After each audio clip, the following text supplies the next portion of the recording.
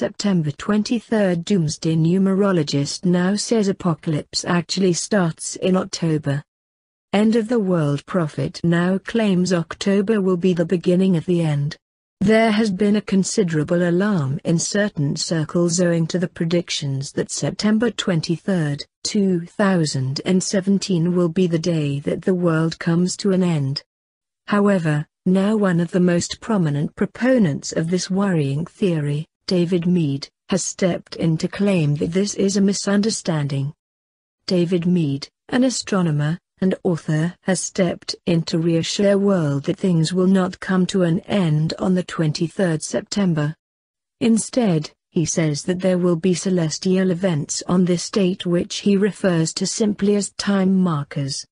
He has also said that while the mainstream media have reported that these celestial events will be visible that he does not believe that they will be.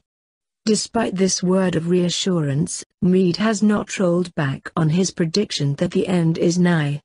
He says that the month of October will be the beginning of the end with regards to life on the planet.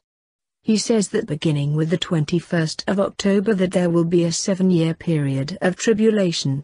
During this time, the elusive planet Nibiru will come close to the Earth's orbit and wreak various forms of disaster upon humanity. It has even been suggested that the drawing close of Nibiru could trigger some kind of event that could be interpreted as the coming of the Antichrist or the rapture. Meade's words have been met with alarm by some people, but others are far more incredulous, pointing out that end-of-the-world prophecies have been made with some regularity in the past and yet have never come to pass. However, given the sudden, unprecedented spate of natural disasters such as hurricanes and earthquakes in addition to the growing political problems in the world which could lead to the outbreak of an all-encompassing world war. Perhaps the end truly is nigh after all.